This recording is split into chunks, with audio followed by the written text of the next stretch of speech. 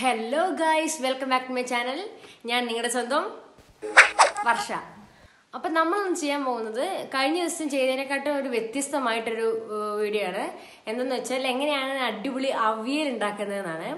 അപ്പോൾ നമുക്ക് വീഡിയോയിലേക്ക് കടക്കാം. അതിന് മുമ്പ് എന്റെ ചാനൽ ഇതൊരു സബ്സ്ക്രൈബ് ചെയ്താൽ ഉടൻ പോയി സബ്സ്ക്രൈബ് ചെയ്തിട്ട് ആ ബെല്ലൈക്കൺ കൂടി എനേബിൾ ചെയ്താലേ ഞാൻ അടുത്ത വീഡിയോ നമുക്ക് ഈ നോട്ടിഫിക്കേഷനെ കിട്ടുകയുള്ളൂ.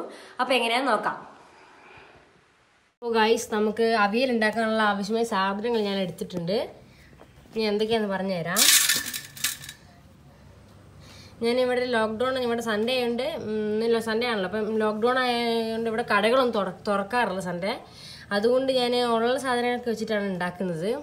അപ്പം അതിനായിട്ട് ആവശ്യമായിട്ട് ഒരു ചെറിയ കഷ്ണം ഉള്ളി എടുത്തിട്ടുള്ളൂ. കാരണം ഇവിടെ ഉള്ളി തീരെ കുറവാണ്. കടകൾ തുറക്കാത്തത് കൊണ്ട് ഞാൻ ഉള്ളി ഉള്ളത് വെച്ച് അഡ്ജസ്റ്റ് ചെയ്യുകയാണ് അപ്പോൾ ഇവിടെ എന്റെ കൃഷി തോട്ടത്തിലുണ്ടായ വഴുതനങ്ങ ഒരു ചെറിയ കഷ്ണം മത്തൻ തീരെ ചെറുതല്ല അത്യാവശ്യത്തിന് വരുമ്പം പിന്നെ ഇതാ ഇവിടെ എന്റെ കൃഷി തോട്ടത്തിൽ വാഴയ്ക്ക ഉണ്ടാക്കിയ വാഴയ്ക്ക. ഇതാ മൂന്ന് വാഴയ്ക്ക നാല് വാഴയ്ക്ക എടുത്തിട്ടുണ്ട് ഇതിന് വേണ്ടിയിട്ട്. പിന്നെ ബാക്കി ഇതാ കുറച്ച് പയറുകളാണ് എടുത്തിട്ടുള്ളത്. നല്ല പയറാണ്. അപ്പോൾ ഇതൊക്കെ ഞാൻ കഴുകിയിട്ടില്ല. അതുകൊണ്ട് തീരെ വൃത്തി ഉണ്ടാവില്ല കഴുകാത്തവനെല്ലാം നന്നാക്കി വെച്ചാണ്. ഇതിന് കഴുകിയെടുക്കണം. ഇതാ അതിന് വേണ്ടി ബാക്കിയുള്ളത് രണ്ട് നാല് കിഴങ്ങാണ് എടുത്തിട്ടുള്ളത്. പിന്നെ ഒരു ചെറിയ കഷ്ണം ഇവിടെ തന്നെ ഉണ്ടായ ചേനയാണ്.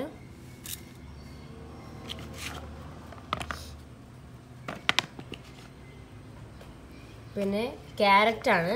ക്യാരറ്റ് നാലെണ്ണത്തിന്റെ ആവശ്യമുള്ളൂ. എനിക്ക് ക്യാരറ്റ് കുറച്ച് കൂടുതൽ ഇഷ്ടമായതുകൊണ്ട് ഞാൻ കുറച്ചധികം ക്യാരറ്റ് എടുത്തിട്ടുണ്ട്. അധികം എന്ന് പറഞ്ഞാൽ ഒരു ഏഴ് എട്ടെണ്ണം ഉണ്ടാവും. പിന്നെ വേണ്ടത് കുറച്ച് നല്ല മുളകാണ്. ഈ മുളക് ഇവിടെ ഉണ്ടായ മുളകാണ്. ഇതാ.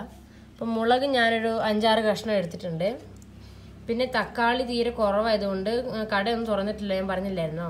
അപ്പം ഞാൻ തക്കാളി ഒരെണ്ണം എടുക്കുന്നുള്ളൂ. ഒരു വലിയ പഴുത്ത തക്കാളിയാണ്. അപ്പം നമുക്ക് ഇതൊക്കെ വാഷ് ചെയ്തിട്ട് വരാം. ഇപ്പോൾ വാഷ് ചെയ്തിട്ട് കട്ട് ചെയ്യാൻ ഞാൻ വാഷ് ചെയ്ത് കാണിച്ചു തരാം. അപ്പോൾ നമുക്കിത് വാഷ് ചെയ്യാം. നമ്മൾ ആദ്യമായിട്ട് കഴുകാൻ പോകുന്നത് ക്യാരറ്റ് ആണ്. അപ്പോൾ ക്യാരറ്റ് കഴുകിയെടുക്കാം ഗൈസ് നമ്മളിതാ പച്ചക്കറികളെല്ലാം കഴുകി എടുത്തിട്ടുണ്ട്. ഇത് നമുക്കിനി കട്ട് ചെയ്യാം.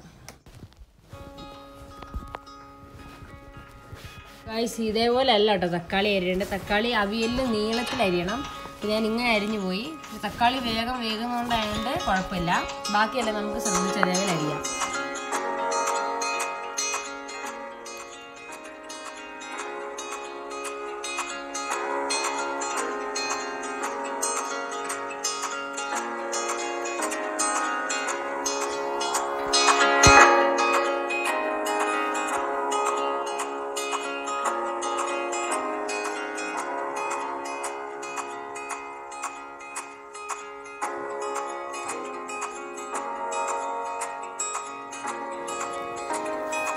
ഉരുളക്കിഴങ്ങ് സെയിം മെത്തേഡിൽ തന്നെ ഈർക്കിലി പോലെ തന്നെ വേണം അരിയാൻ.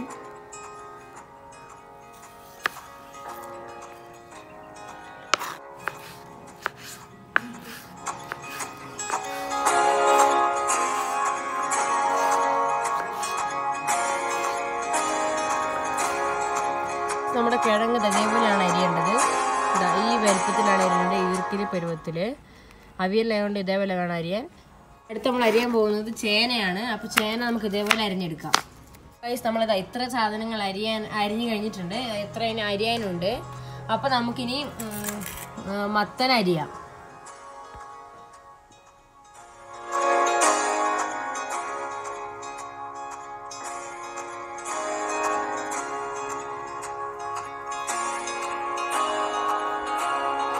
ഏകദേശം അരിഞ്ഞ് കഴിയാനായിട്ടുണ്ട്. ഉള്ള അരിഞ്ഞ് കഴിഞ്ഞിട്ടുണ്ട്. അടുത്തത് നമ്മൾ അരിയുന്നത് ക്യാരറ്റ് ആണ് ക്യാരറ്റ് നമുക്ക് ഇതേപോലെ തന്നെ അരിഞ്ഞെടുക്കാം. നമ്മുടെ ക്യാരറ്റ് അരിഞ്ഞു കഴിഞ്ഞ് ഇതാ വഴുതനങ്ങ അടുത്ത് അരിഞ്ഞു കഴിഞ്ഞു. അടുത്ത് നമ്മൾ അരിഞ്ഞുകൊണ്ടിരിക്കുന്നത് ഉള്ളിയാണ്. ഇനി നമുക്ക് ഉള്ളി ഇതേപോലെ തന്നെ നീളത്തിൽ തന്നെയാണ് അരിയേണ്ടത്. പലർക്കുള്ള ഡൗട്ടാണത് ഉള്ളി ഇതേപോലെ തന്നെ നീളത്തിൽ അരിയുക പയറാണ് അരിഞ്ഞു കഴിഞ്ഞു. അടുത്ത അരിയാൻ പോകുന്നത് മുളക്. നമ്മൾ അടുത്ത അരിയാൻ പോകുന്നത് ഈ മുളകാണ്. അപ്പോൾ നമുക്ക് മുളക് അരിയാം. മുളക് അരിയുന്നത് ഇതേപോലെ നടുക്കുന്ന കീറിയിട്ടാണ്. അത് ചെറിയ മുളക് കൊണ്ടാണ് ഇങ്ങനെ അരിഞ്ഞത്. അപ്പോൾ കുറച്ച് വേറൊരു കാര്യം ഉണ്ട്. പിന്നെ മുരിങ്ങക്കോൽ ഇതിന്റെ കൂടെ ആഡ് ചെയ്യണം. എനിക്ക് മുരിങ്ങക്കോൽ കിട്ടാത്തതുകൊണ്ടാണ് ഞാൻ ആഡ് ചെയ്യാത്തത്. നമ്മുടെ പച്ചക്കറികളെല്ലാം നമ്മൾ അരിഞ്ഞ് എടുത്തിട്ടുണ്ട്. അപ്പോൾ നമുക്കിത് എങ്ങനെ ഉണ്ടാക്കുന്നത് നോക്കാം. നമ്മളിതിന് വേണ്ടിയിട്ട് തേങ്ങ കൊത്തുവാണ്.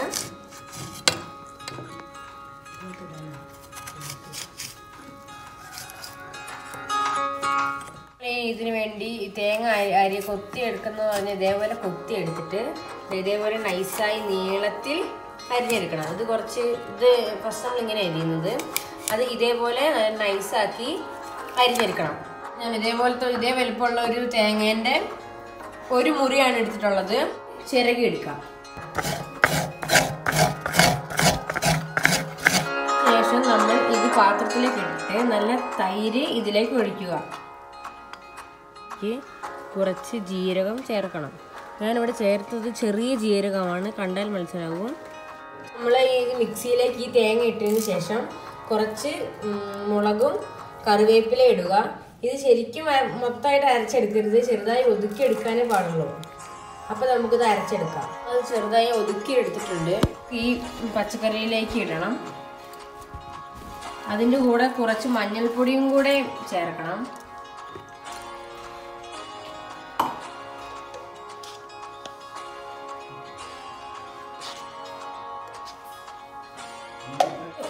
മുളക് പൊടി ഇടണം. ഒരു ടീ ടേബിൾ സ്പൂൺ നിറച്ചാണ് മുളക് പൊടി എടുത്തിട്ടുള്ളത്. ആവശ്യത്തിന് വേകാൻ മാത്രമുള്ള വെള്ളം ചേർക്കാം. കുറച്ച് ഉപ്പ് കൂടെയും ചേർക്കാം. ഞാനിവിടെ ഉപയോഗിച്ച ഉപ്പ് എന്ന് പറഞ്ഞാൽ കല്ലുപ്പാണ്. അതിനുശേഷം നമുക്കിത് ഒരു തവി ഉപയോഗിച്ച് നല്ലതുപോലെ മിക്സ് ചെയ്തെടുക്കാം.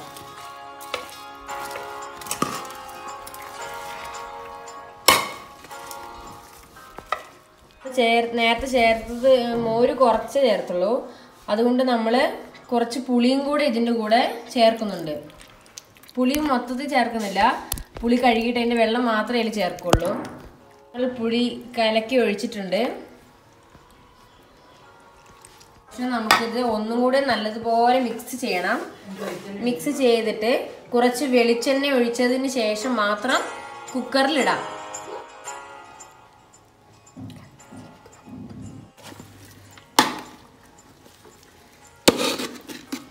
ഇട്ടിട്ടുണ്ട് ഇതിനെ നമുക്ക് ക്ലോസ് ചെയ്തിട്ട് അടുപ്പിലേക്ക് വെക്കാം. അടുപ്പിലേക്ക് വെച്ചിട്ടുണ്ട്. ഇതിന് രണ്ട് വിസിൽ പോകുമ്പോൾ നമുക്ക് നോക്കാം. നമ്മുടെ കുക്കറിന്റെ രണ്ട് വിസിൽ പോയിട്ടുണ്ട്. അപ്പം ഞാനിവിടെ രണ്ട് മിനിറ്റ് ഇവിടെ വെച്ചിട്ട് കഴിഞ്ഞിട്ടുണ്ട് വെച്ച് രണ്ട് മിനിറ്റ് വെച്ച് കഴിഞ്ഞിട്ടുണ്ട്. ഇനി നമുക്കിത് തുറന്ന് നോക്കാം നമുക്ക് നമുക്ക് ഇതിന്റെ എയർ അഴിച്ചു വിടണം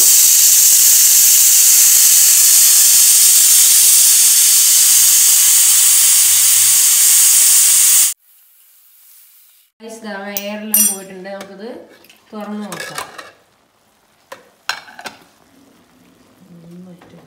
ഇത് കണ്ടിട്ട് നമുക്ക് തോന്നുന്നു നന്നായി വെന്തിട്ടുണ്ടെന്നാ. നമുക്ക് നല്ലോണം ഇളക്കി നോക്കാം.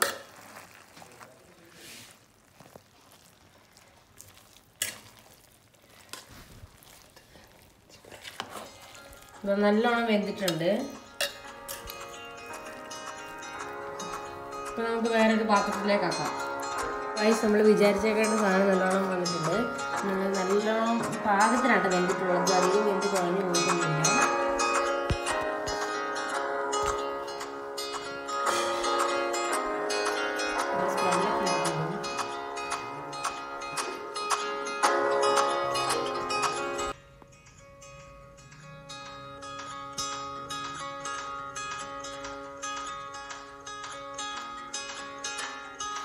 അപ്പോൾ ഗൈസ് എല്ലാവർക്കും എന്റെ ഇന്നത്തെ വീഡിയോ ഇഷ്ടപ്പെട്ടെന്ന് വിചാരിക്കുന്നു. ഇഷ്ടപ്പെട്ടാൽ ലൈക്ക് ചെയ്യുക ഇഷ്ടപ്പെട്ടില്ലെങ്കിൽ ഡിസ്ലൈക്ക് ചെയ്യുക. അപ്പോൾ ഞാൻ അടുത്ത വീഡിയോയിൽ വരുന്നതായിരിക്കും നാളെ.